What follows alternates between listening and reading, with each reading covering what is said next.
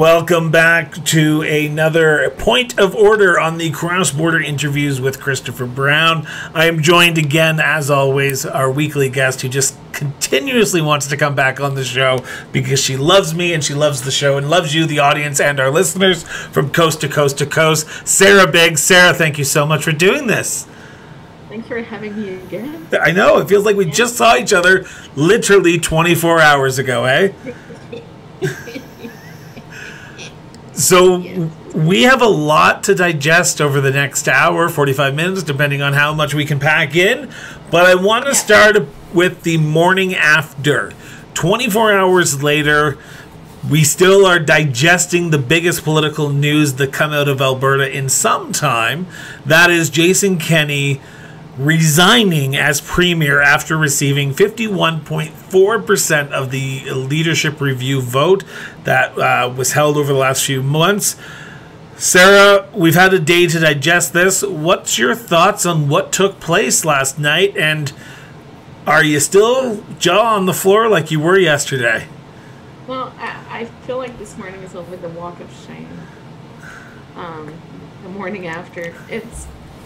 I had time to think about it, and digest it, and really try to figure out what happened. And what happened is exactly what Jason Kenney wanted to happen.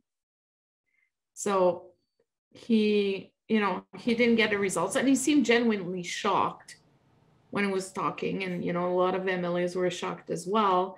But um, today he managed to wiggle his way back in into convincing them that he is the guy that can keep the unity until um, you know the exec- the executive of the UCP calls uh, for a leadership review.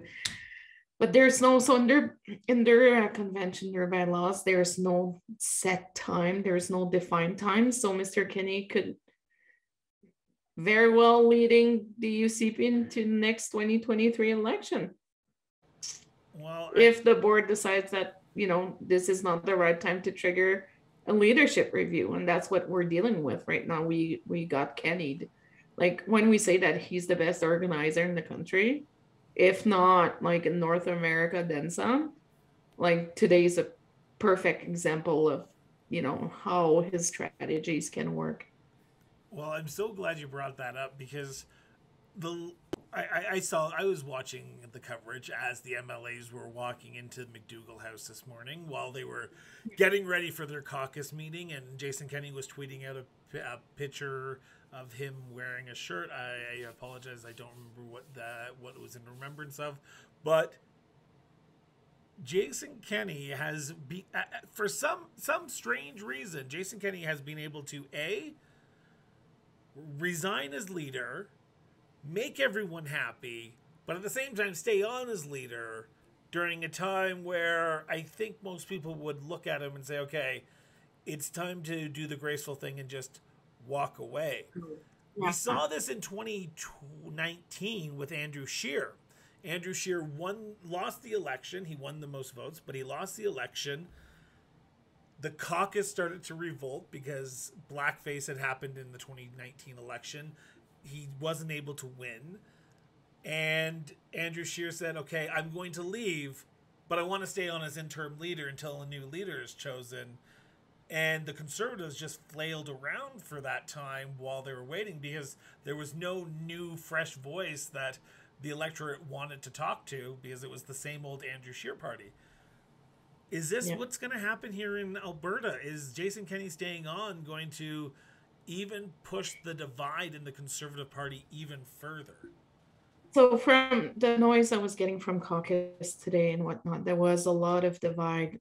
Um, so, you have the Kenney loyal, lawyer, loyalists. Sorry, it's a hard word for me to pronounce. And then you have. If we were doing um, this in know, French, you would be doing like speed laps around me. So Sarah, you're doing perfect. so and then you have um the people like let's say the Drew Barnes and Leela Aheer.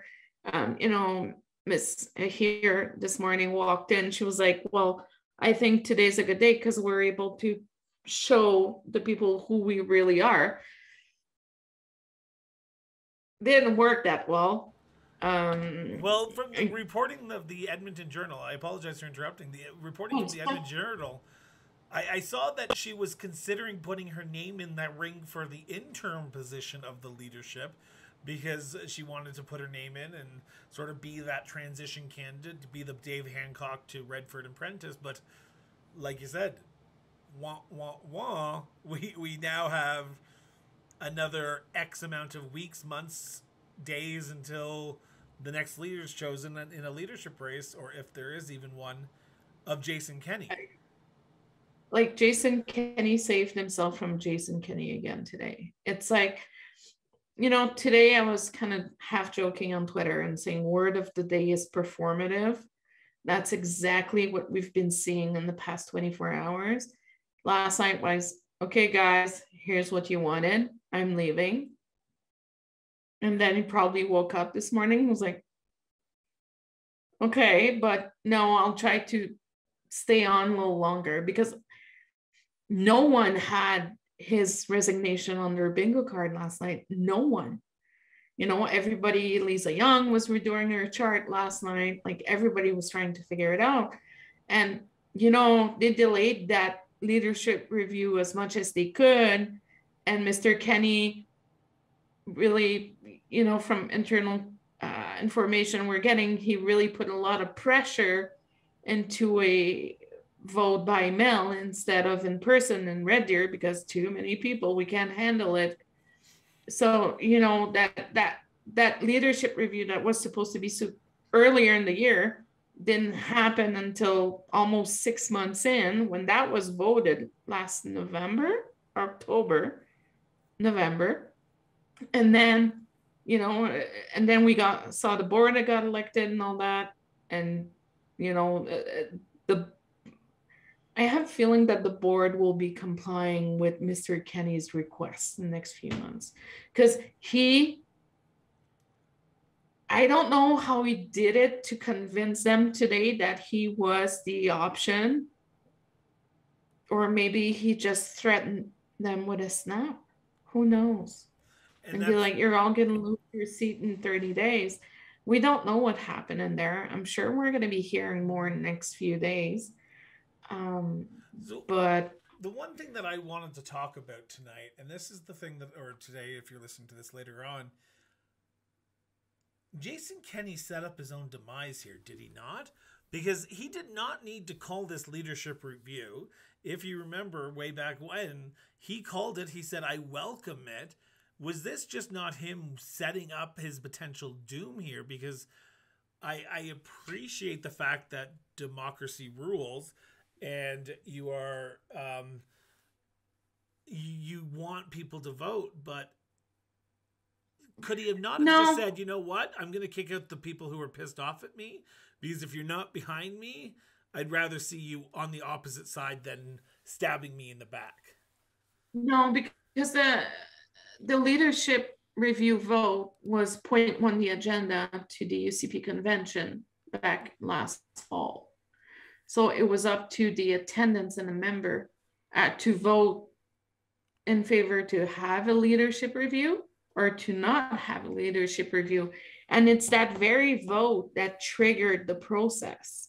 Then the board took some time. Then they went back and forth. Then they changed the way then the venue was canceled. Then they realized that, you know, there was a lot. And then we called for, I remember in podcast I was on, I was like, you need to appoint an auditor to make sure if they want to make sure that we're seeing transparency in the process?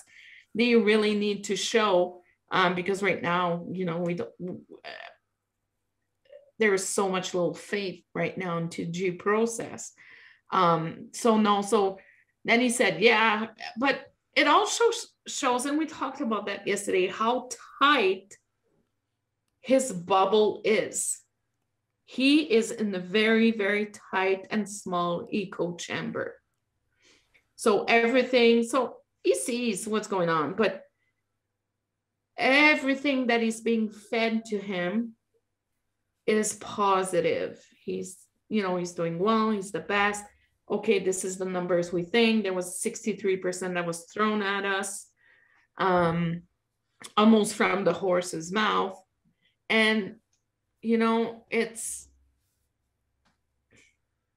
I think it's a mix of his staff is not that great and they're very, very young and do not understand how it can impact leadership. Or well, because I, I appreciate you saying that because I remember 2018, and I think uh, we'll take again. Again, I like going back to 2018 here for a few minutes because yeah. we did it last night with Patrick Brown, but I want to do it today with uh, Doug Ford. In 2018, when Doug Ford became premier, he had all these young people around him as well, and his party was nosediving in the polls once he took office. He was appointing the wrong people, he was saying the wrong things, he was not connecting with the people and Jason Kenney looked like the adult in the room. And when mm-hmm. COVID hit, I think that's when the change happened because the people like Doug Ford became sort of the adult in the room because he kicked out all his people that were causing him harm. He put in adults and he said, okay, let's start talking like the adults in the room as government. And Jason Kenney got, and I I don't know Brock, I don't know Matt Wolf, so I do not want to throw them under the bus, but you started picking up the people who had ran the Andrew Scheer campaign coming out to Alberta and trying to bring the national politics into provincial mm-hmm. politics and it just didn't work for Jason Kenney and I think that might have been his first big misstep was he didn't bring the adults in the room who were Albertans who were truly on the ground who knew what the people wanted and were just relying on his old staffers from back in Ontario Ottawa wasn't he well, you know, if we compare Ford to Kenney for a second here, in 2018, Ontario voted for the Ontario PC. Then COVID hit. In 2019, Alberta voted for the UCP and Jason Kenney. What happened when COVID hit is that, um, you know, Ford is a businessman. He's a customer service, sorry, he's a customer service guy and he can read the room. Um, you know, a lot of people were making fun of him when he was uh, shoveling snow on the side of the street to try to help someone. But the guy always keeps in mind, and I would say that, well, in appearance, Ford puts his voters first, and Kenney puts his personal interests first.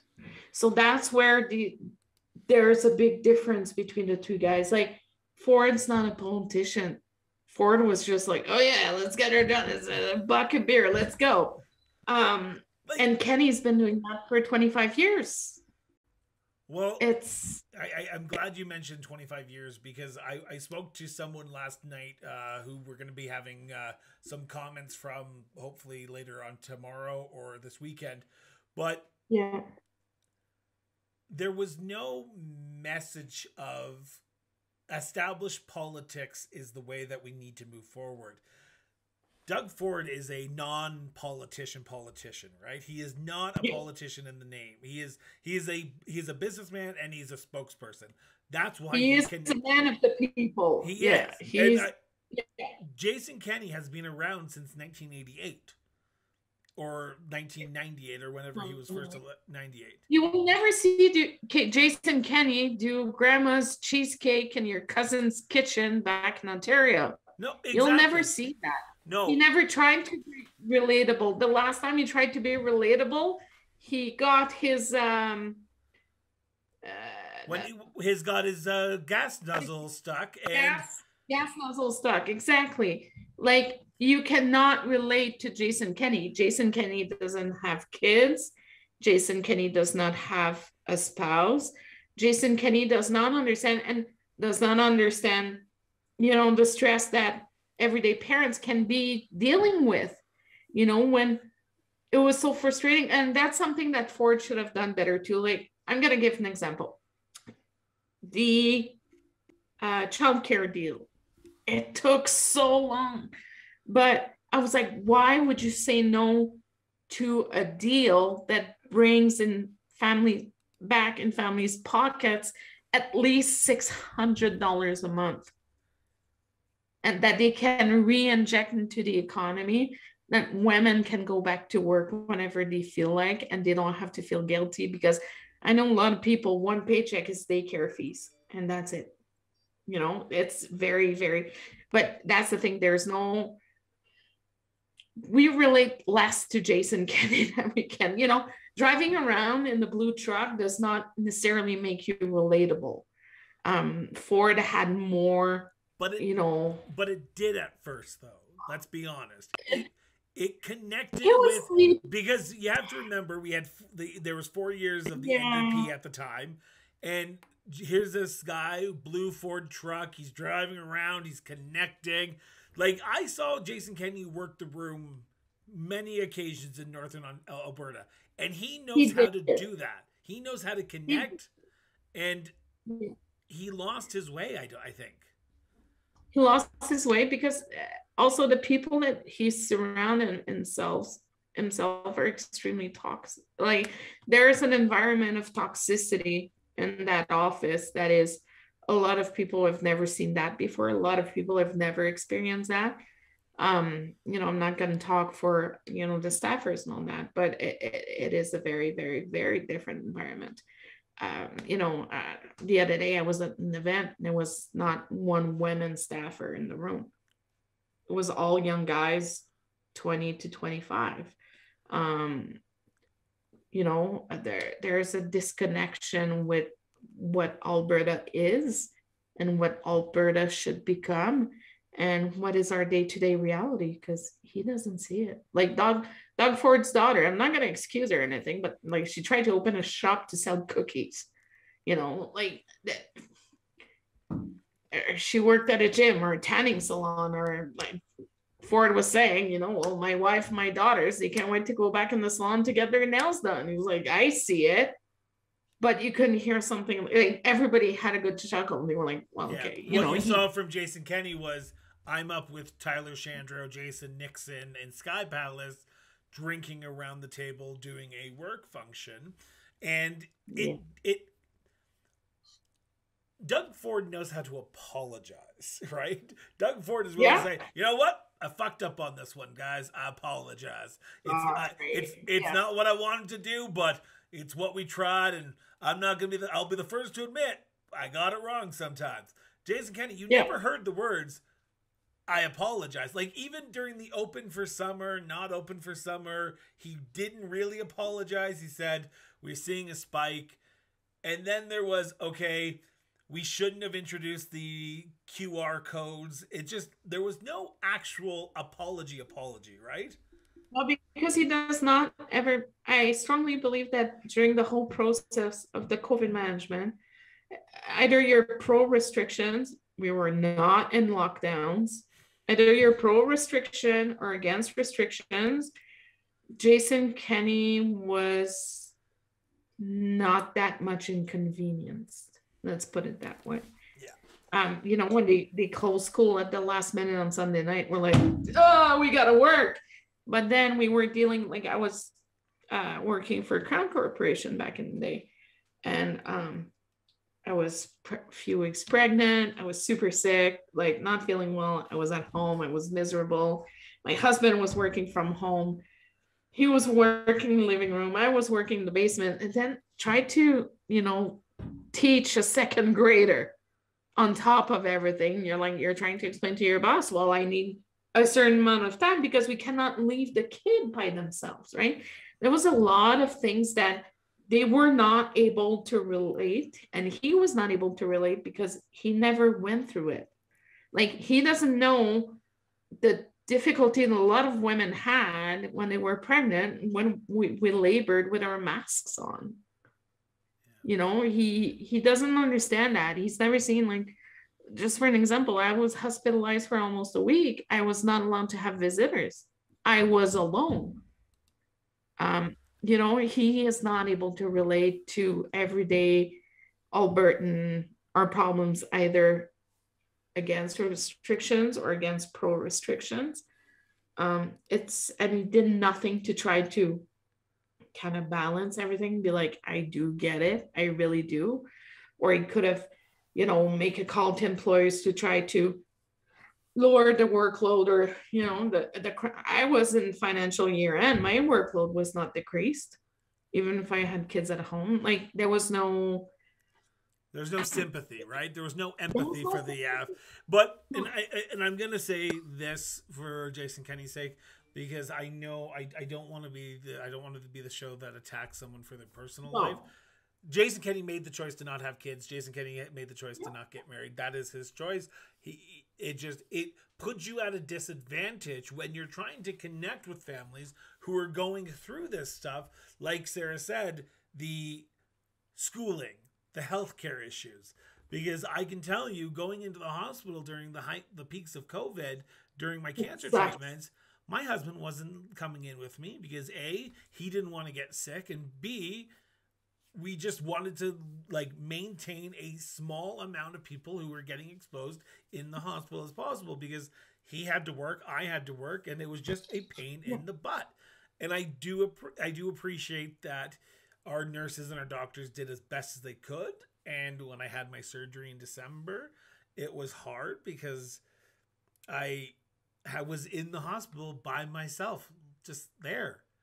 And you can't imagine how lonely it can feel. And I feel bad for people in long term care homes who were in yeah. hospital beds more longer than I was, who were just sitting yeah. there waiting and waiting and waiting for looking out the window and seeing a nurse come in with a massive mask on, plastic bubble wrapped around them.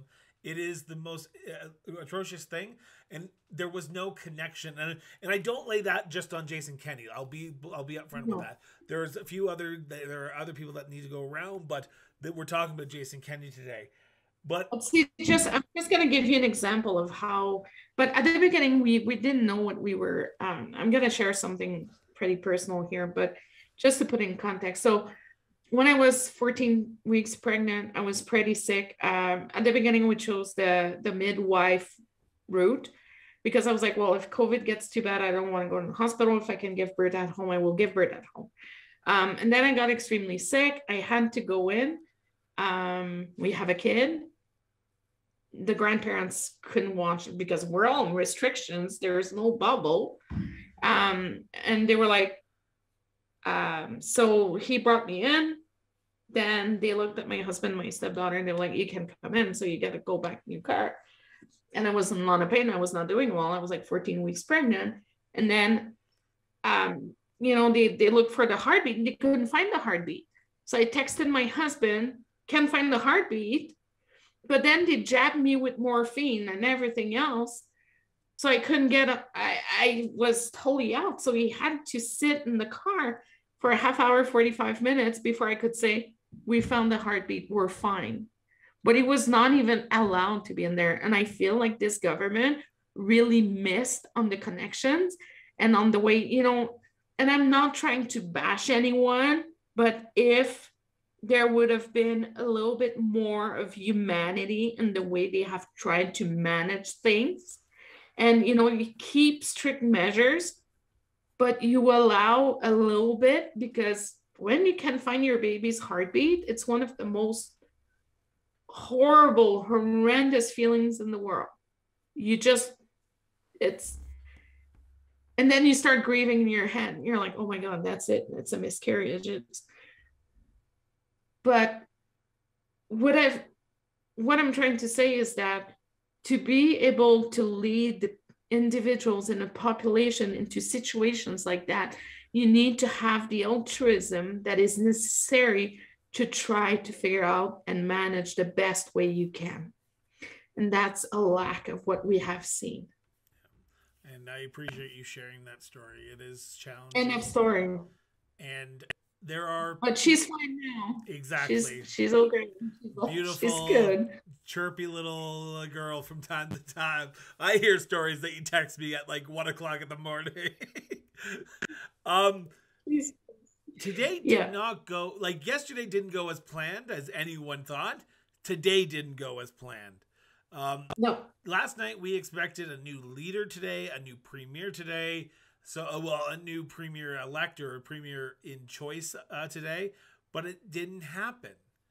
We, no. you know what I, do you know what I told myself? Do you know what I told myself this morning? when I was thinking about, I was like, how could I not see this coming?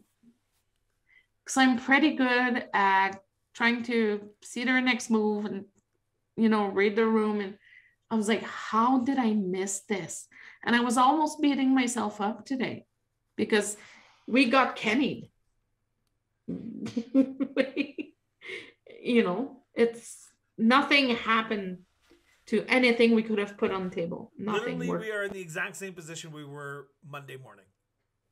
Yeah. What? Nothing's changed. Oh, yeah. Business is usual. Brock still have his job. Bateman or Bateson, what's his name? Yeah. The Thatcherite, the one with the mug. Um, you know, he's still there and business as usual in the Business premier's office. usual. Nobody But there was some announcement today, an announcement within an announcement. Uh, Danielle Mhm. Smith, former leader of the Wild Rose, former Highwood MLA, former PC MLA in the Great Exodius of 2013, we all or 2014, we all remember those days. Um, Yes. held a press conference at 11 o'clock Mountain Standard Time today, or yesterday, announcing whenever you're watching this, uh, announcing that yes, she is in and she's in to win. She is going to run for the leadership of the Conservative Party, the United Conservative Party of Alberta.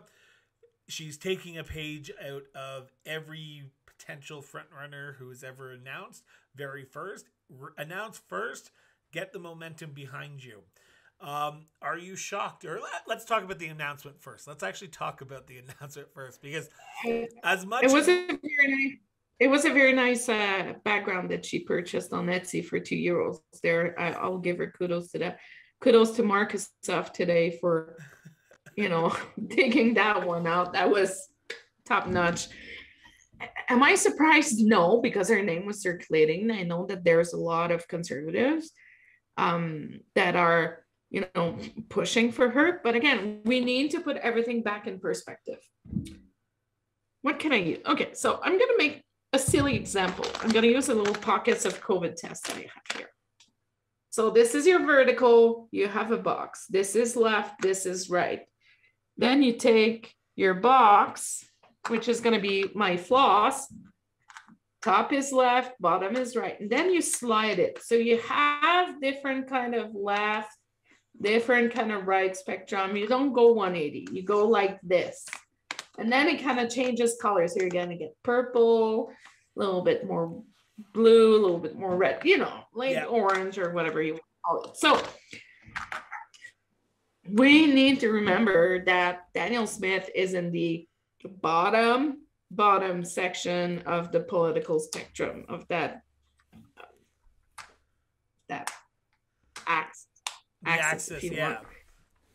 So, and also, uh, what shocked me today is that she was like, "Well, Kenney needs to apologize to the priest and all this." I was like, "I don't know.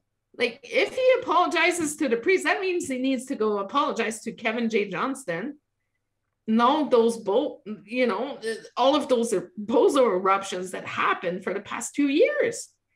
Like, I'm worried. So, and that's why I was asking last night was Jason Kenney conservative enough?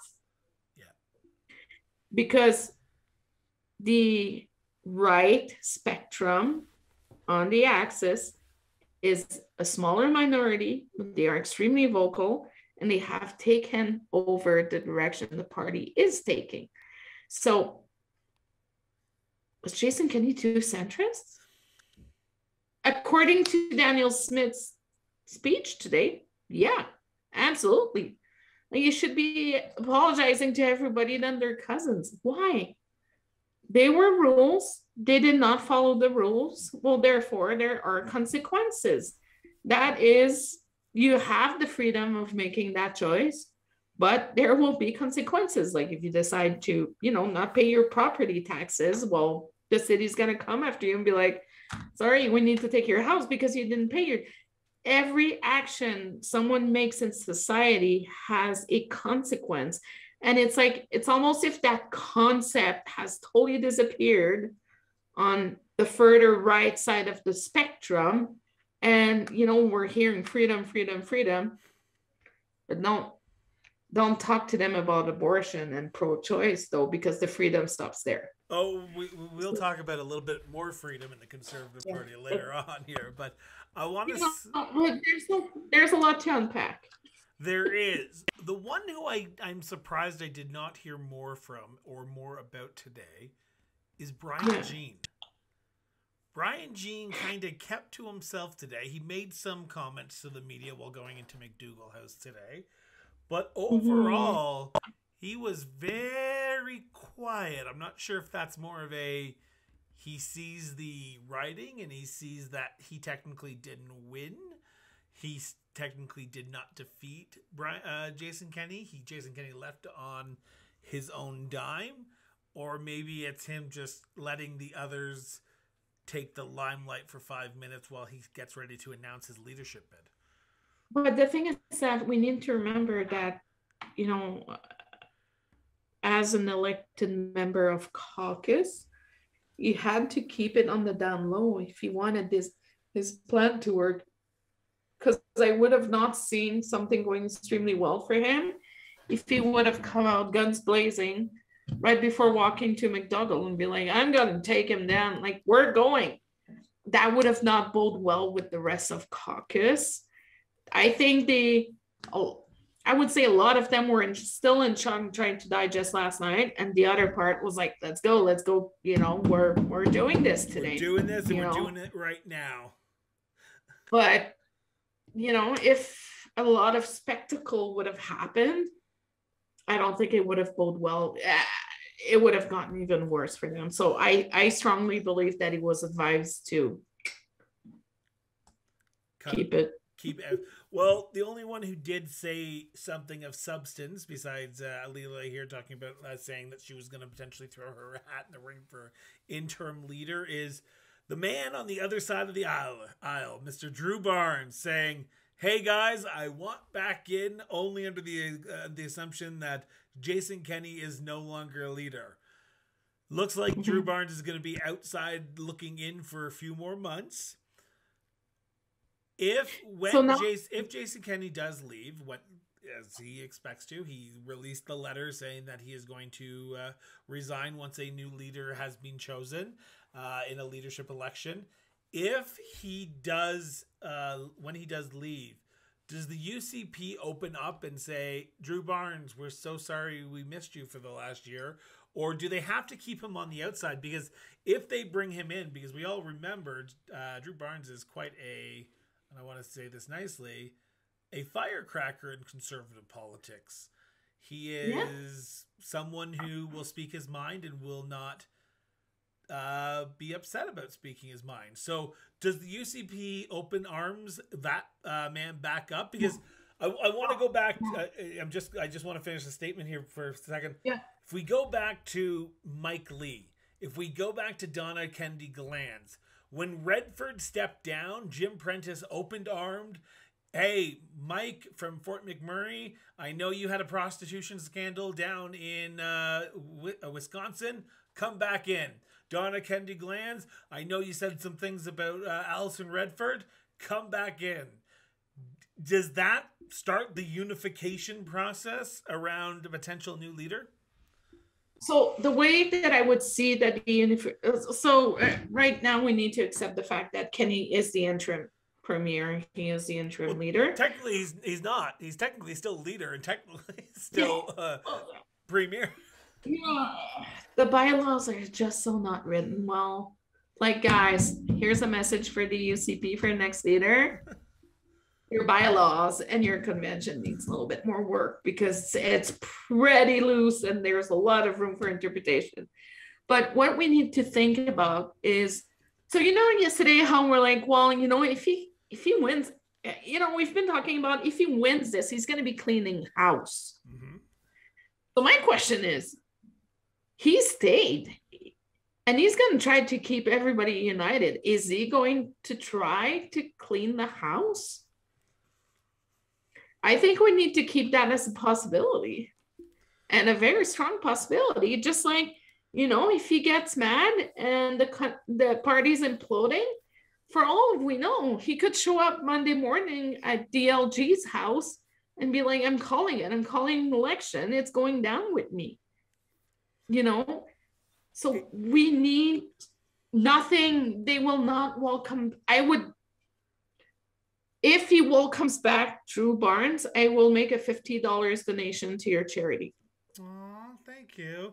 Um, Let's do that. I I I will I will take that bet. I might If- if if he I know if he uh, doesn't come back, I will make a fifty dollar charity to your. If he does come back, or sorry, so you're saying if he comes back, you'll donate to me. If he doesn't come back, I'll donate to you because I think he has to. I think Todd Loewen and him have to come back and be the unified party that they are so upset about. There's too many people that walked in today and said, let's get her done. Yeah. yeah. Take a take a page out of Doug Ford's book. Let's get her done. You know what? Uh, I know that I think it was Godfrey that called for a secret ballot today to decide. And I don't think it happened. Well, yeah, I would be surprised if if it didn't or if it did because, People are worried about retaliations. because and that's Kenney where- knows people, right? Jason Kenney still knows people, and he still technically has control of fifty-one percent of the people in the party. You saw that yesterday, fifty-one point four percent. While that is a bare majority, that He, he controlled. Yesterday was under invite only. It was like they kept the media. So I was texting with a few media members last night. They were kept behind a white wall until Kenney was showing up because he didn't really wanted to see. Only a few MLAs and only a few ministers were invited. That is extremely telling. So I'm wondering maybe he's going to try to clean the house just like we predicted if he would have won. Because at the end of the day, he won. Yeah. At the end of the day, he's still there. Nothing changed. Uh, one last uh, topic on this before we go to the federal politics of the day, and that Yes. is contenders. Danielle Smith has put her name forward, saying she's in. She's in it to win. Jason Kenney is about to lose some cabinet ministers here potentially because there's going to be some who will be wanting to run for that leadership. Will he? Taze. What? I heard Taze again. Yeah. So the question is, will he take a page out of the uh the federal uh like the John Chrétien uh, playbook, the Stephen Harper, not Stephen Harper because there was no time, but the Brian Mulroney playbook and say, if you run, you have to resign your cabinet position. Will he do that because or will he try to give a leg up to his supporters? Let's let's flip a coin. Don't know. Um, he might, but again, the party's not known for their transparency. True that. Not known for making everything kosher. They're not known. You know, it's not. It, it, it is what I don't is, right? We'll see what happens. It is what it is. So it's the law of the land. So we'll see how the, the law is being laid. And yeah, I I would say probably not. This is I'm gonna. I, I, this is my prediction for this upcoming leadership race, if there is one. We're going scorch earth this time. Brian Jean and Jason Kenney and Jeff Callaway played nice last time. They didn't talk. They they fought each other, but they didn't actually come out. I think this election is going to be more. A bloodbath. It's going to be a bigger bloodbath than the federal conservative leadership race that is currently ongoing because because Oh, it's mild. it's mild, but at the same, but that's what I mean. It's going to be worse than what we're seeing federally because we see the anger on the stage during the debates. This is populist conservative against populist conservative. Who is the more populist in the group, and who is the more conservative of true conservative roots? And that's where I think it's going to be a bloodbath. And I think you're right. I will agree with you. And uh, again, we need to maybe consider a party fracture if it goes too much on the right. Because if it goes too much on the right, you're losing Edmonton and Calgary. and you need to win the rural of Alberta, you need to win two out of the three areas rural, Calgary, and Edmonton. If you win Calgary and Edmonton, you've won. If you win rural in Calgary, you win. So the NDP and the UCP are looking at the math right now, and if there's a split, it's good for the NDP. If there's not, it's bad for the NDP. but again, not that. For me? It's not that bad for the NDP right now. Well, well, it's not. Let, us talk about that for a second because she, ha- Rachel Notley, held a press conference today, and I can't. Yeah, you, she I, did. I can't tell you what she tell, t- told the people of Alberta. We're here. We're here to win 2023. That's not the message that you want to be talking about right now, is it? Like you said last night, I'm going to quote you here. I just uh, not quote you, but I'm going to paraphrase what you said last night. You need policy you need policy today to start getting people to talk about your party. And mm-hmm. if you're mm-hmm. just saying, hey, we're not those guys, are people going to start coming to you? Yeah. You think so? She did good. Today was a good. So, what the, the, the NDP really needs to do right now is focus on voters, right? So, they were like, today they went out as a if an election was held today or in the near future, this is who you would get. We have this, we're focusing on this. We have experience in healthcare, renewables. Um, you know, she really tried, she did not, and Rachel Notley has done a very, very good job into trying to kind of segregate herself from the federal NDP because she's not a conventional NDP the Alberta, and I'm gonna anger so many people on the left right now, but the uh, Alberta NDP is not your regular normal NDP from Manitoba, Ontario. If you go talk to Quebec. Andrea Horwath, the leader of the Ontario NDP, and you put them in the same room with Rachel Notley, you would think Rachel Notley was a progressive conservative in Ontario.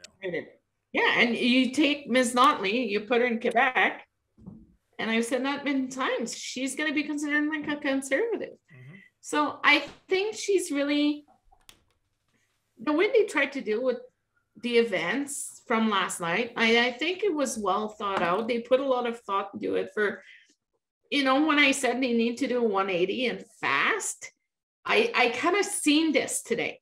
She was with her nominated candidates. She was like, this is what we have municipalities. We have Druh Farrell. Um, renewables, we have Salim and Najwan. Um, health, we have this person, Acadia. You know, it's like she, it's like if she's put a lot of thought into her nomination process to make sure that everyone is extremely well represented, you know. Um, and, and I think she appealed, she almost appealed she was not overly partisan. She said, We are going to be here for you, Albertans. We will listen to you. We will fix Eric.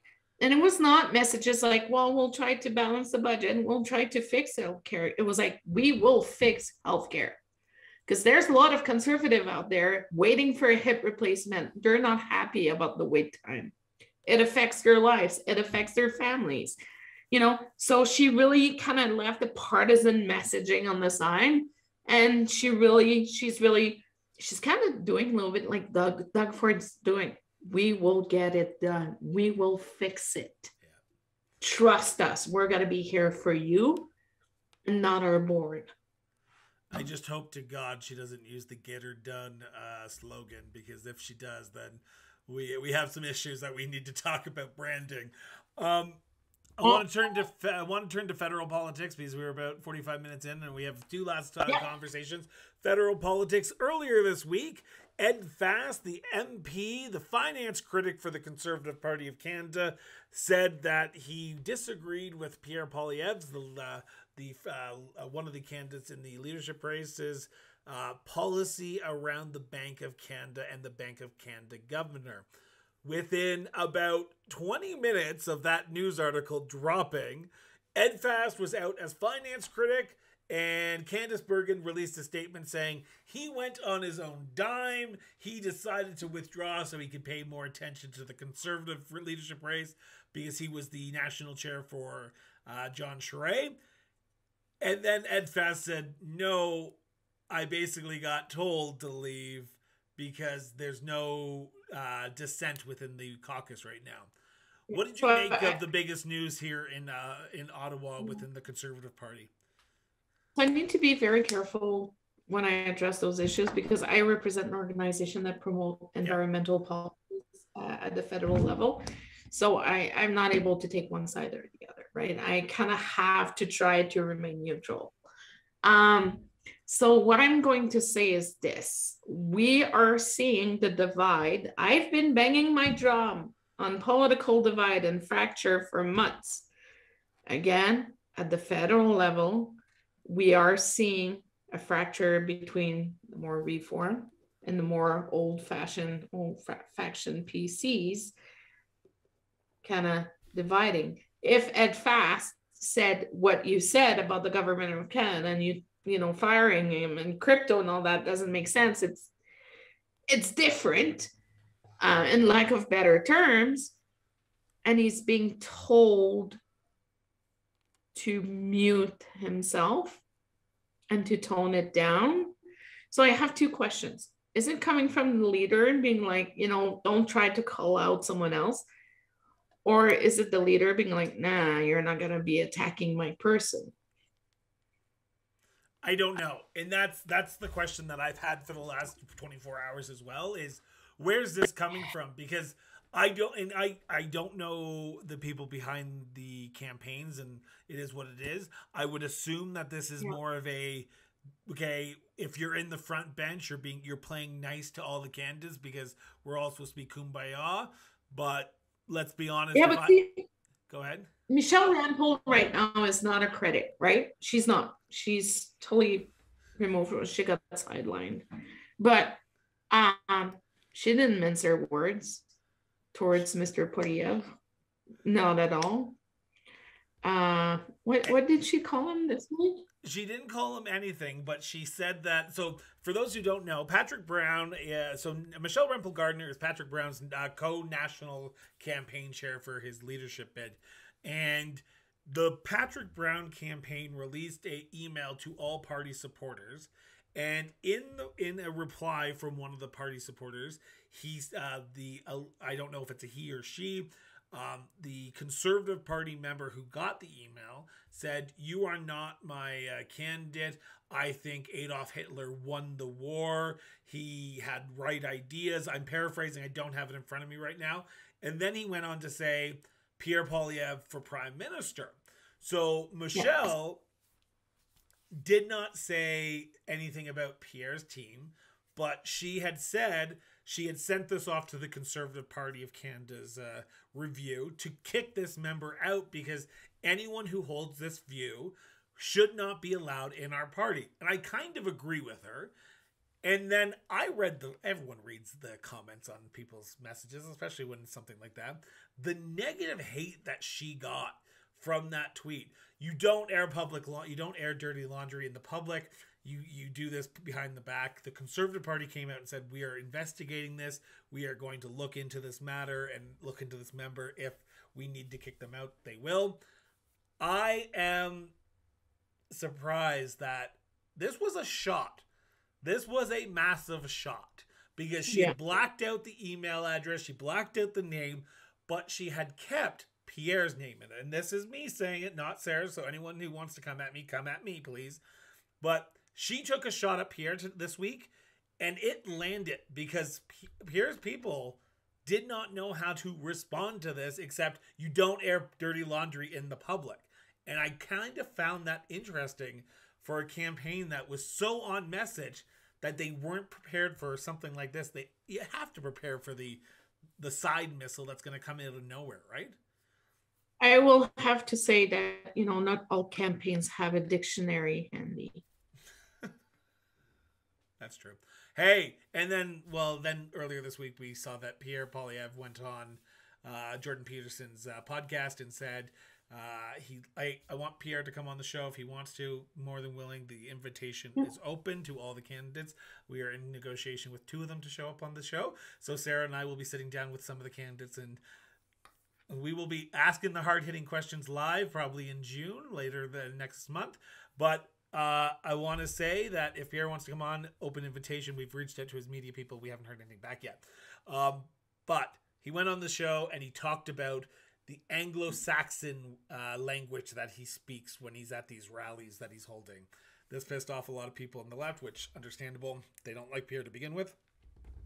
So you have to choose your words carefully when it comes to how you're speaking on record. And then uh, the day after, Mr. Peterson went after a uh, women, women of color, a curvy women of color that was uh, on the first page of Sports Illustrated because apparently it does not meet her standards. So until I'm just going to send a message of general interest out there. Guys, because Mr. Peterson has a very young male following. My dudes, you need to understand that sometimes the weight that we're carrying it's because of pregnancy it's because of medication it's because we've been working too much it's because we have to keep our job plus curricular stuff plus we, we just don't have time to take care of ourselves. So before you start bullying everybody that is like over 125 pounds think about it three times. And I, I, i'm just going to add on to this and i know i don't have any skin in the game but i'm going to say this i know you say that they're trying hard to take it off some women some men find plump sexy so like it. you don't like it. Exactly. You don't like it? Don't look at it. I don't want to read an article because it's not appealing to me. I'm not reading it. Exactly. Like why? Why do we have to be so polarized about everything? That shows how fragile our society is becoming. Want to know why? Because we are just a polarized community are you okay? Are you crying? Yeah, I was just looking at the time without my glasses. Oh, Sorry. No worries. Okay, I want to turn to the last top. Well, second last topic. I'm going to do a quick fire round for the last topic, but this one is the Ontario election. We are two, yeah. week, two weeks away from the Ontario election. We are going to be doing some coverage next week. We're going to be live on location in some of the ridings across uh, southwestern Ontario, so we're going to be there. Uh, the next time Sarah and I sit down will be election night, probably June 2nd, the Thursday, where we're probably, uh, or the Wednesday, depending on if we're live that day, or the Thursday, the June 1st or June 2nd. Are we, are we going to Toronto, Chris? Do you want, let's go to Toronto. Let's try and get to Toronto. Let's do it. Um, but we are going to potentially be, uh, we're going to be, I'm going to be live on election night covering the Ontario elections as they come in. Uh, we might bring some people in and we'll have some comments from and some uh, just uh, candid interviews that we're going to be conducting over the next week. Um, today was a big day in the election. Earlier this morning, and Ontario NDP leader uh, Andrea Horwath announced that she had tested positive for COVID 19 two weeks out before the election. Mike Schreiner, the Ontario Green Party, announced yesterday he was tested positive for COVID 19. This is the worst time to not be pulling a Erin O'Toole uh, uh, from the Erin O'Toole playbook of setting up a virtual campaign in a hotel room where your candidate can go in and talk. Um, Doug Ford's leading in the polls. What's your thoughts on the? What's your final thoughts on the election before we potentially talk uh, next time? Well, the progressives in Ontario have a huge problem. They, they need to do something because if the not the progressive conservatives, the progressives on yeah, the left, the progressives on the spectrum, so yeah. the people are not necessarily voting like you know everybody else, but um, if they would get their collective uh, shite together, they would be governing, and Doug Ford would be sitting in a position. So Ontario, you have a very very big problem. Um, but you know, I've I've worked on campaigns during COVID, and we got someone elected during COVID, and it's hard. And we also need to remember that very often your money is coming in within the last two to three weeks uh, during a campaign. It's extremely hard to manage. It's extremely hard to deal with. And the connection is not the same. So we'll see if their communication team is able to turn around and make their magic work. Yeah It's going to be How's interesting. Del Duca? Does he have COVID yet? Does Del Duca has COVID yet? They do not. Doug Ford. They have no. Well, I shouldn't say that. They have not announced that they have. Uh, on Monday night, they had a leadership debate that we did not cover because we were exhausted from the week before, and this week has been just a fun time as well. But Del Duca, Ford, Schreiner, and Horwath were all on stage with Althea Raj and uh, uh, Steve Paikin from TVO, and only two of them have actually tested positive. So, are we potentially going to see the other two? I don't know. Something's weird. So everyone know I attended a conservative leadership last week, and there was a lot of freedom in that room. And my dudes, I I I didn't catch COVID, and I've been testing myself, you know, on a regular basis because I have my daughter is 18 months old. She can't get vaccinated. Uh, my nine years old, uh, my 10 years old now, she's fully vaccinated. I'm triple vax. My husband's triple vax. But I was like, I'm so getting COVID. I was like, I, I'm so getting COVID. It's gonna happen. I did not catch COVID. You squeaked I- it by. Good job. I'm shocked. So, you know, everybody's going to be like, oh, we got COVID. Doug Ford's like, I'm going to get her done. So we'll see what's going to happen. But Ford's going to go back in because I know some people helping him in the background for policy, and he's got good people behind him. Yeah.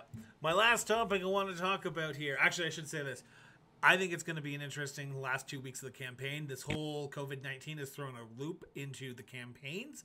And I honestly think that the progressives, if they're going to win, if they're going to start chipping away from Doug Ford, they need to hit hard on COVID because I know there are some conservatives who think this is done and people don't want to talk about it. My parents have COVID. I, am not sure if I should say that out loud, but they've been suffering uh, because I was supposed to be going back uh, this weekend and staying a few days with them, but that has thrown a wrench into my plans over the next few weeks. So next week, so I'm going to be hoteling it from on Toronto to uh, Ottawa. So while you may think COVID is done, it is coming back. There, we are about to enter a new wave because we've been letting our uh, senses down. But please, please, please take uh, caution. But on the note of taking caution, Quebec, as we were recording this, as of uh, Thursday at about 7:55, Global News just reported that there are two confirmed cases of monkeypox on in Quebec. Does this now change uh, what COVID means to the world? And are we about to go into a new pandemic of monkeypox? And I don't want to say that out loud because I really hope it doesn't happen. But could it could it potentially change the name of the game when it comes to leadership races and how the healthcare No. system is about to handle? No, because ch- uh, monkeypox. Monkeypox. Uh, you know, when you have it, you see it. It's easier to be called on it. Yeah. You know, you can isolate better. You can take different measures. And there are some vaccinations. There are some treatments that are very effective.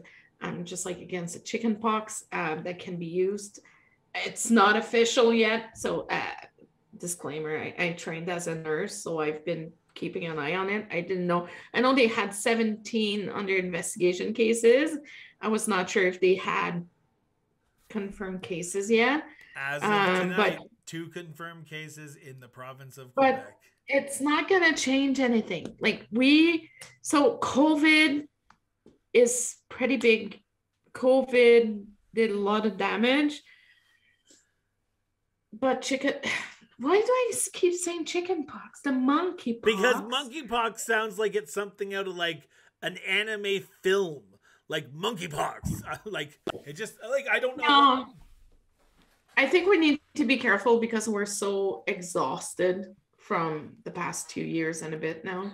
We're we're tired. We're exhausted. Like I'm the first one to say like I've been a little bit careless in my when I'm alone in my outings. I'm like, well, I don't care anymore.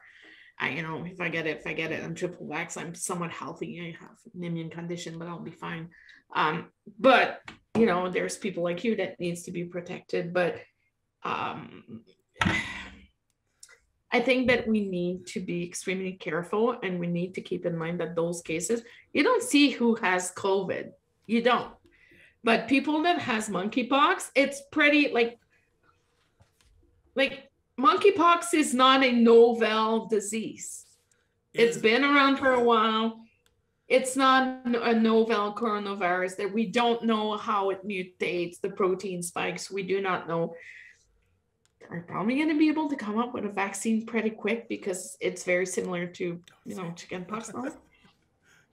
So, lotion, you know- and that's it. Oatmeal, oatmeal bath. Take a bath with baking soda. I don't want to diminish it, but I don't think we need to. It's not on your down. radar of something that's going to affect 2022, do you? Is it? I hope not. I hope. You not. know, we got a pretty nice backyard because we've been backyard vacation for the past two years, but I, I kind of want to go, you know, well, you know, out of the country a little bit. We'll see, but you know, it's like SARS Yeah. in 2004. It's Well, like a lot of things. um, Sarah, we are out of time. We are at the hour Yep. and two minute mark. Thank you so much. Do you have the rapid fire thing? Uh, that was my rapid fire for monkeypox. I was Oh, going to see what you're going to talk about. Unless you want to do a rapid fire, I'll just ask you random questions if you want. Sure. Okay. Okay. What? What? Okay. Here we go.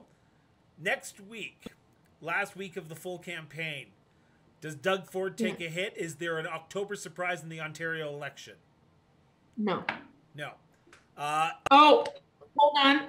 There's an article that came out today about Doug Ford giving a big contract for masks to a religious organization that we shall not name because it is extremely contentious. But do I believe it's going to affect them? No, because the progressives don't have their proverbial shit together. who becomes the new leader of the official opposition Ontario? Liberals or NDP? Liberals. Do the Greens make any gains?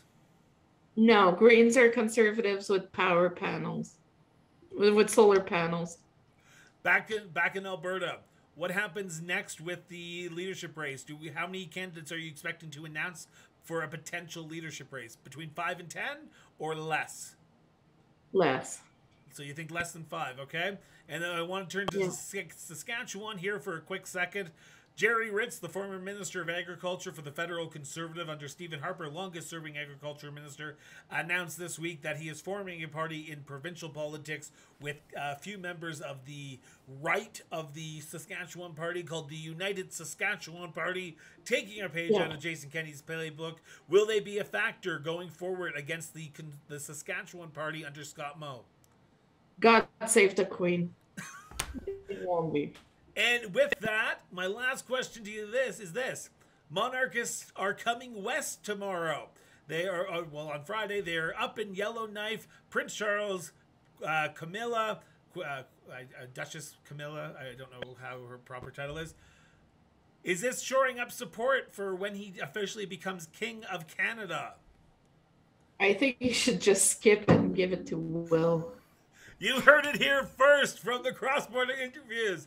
Thank you, Sarah, so much for doing this. It's been an honor and a pleasure. Like I said, we will be off all next week because we are back in Ontario. We will be back the following week with some great new episodes. We have some great interviews with a former conservative MP, a former liberal MP, our entertainment rundown. Sarah and I will be back to chat about the uh, provincial election, and then we might just randomly throw in a provincial election or provincial uh, politics one as well, just in case. So, with that, I want to thank everyone for tuning in. Have yourself an excellent day. And remember, guys and girls, go have a conversation with somebody, get out from behind that social media, and talk because it does make our society better.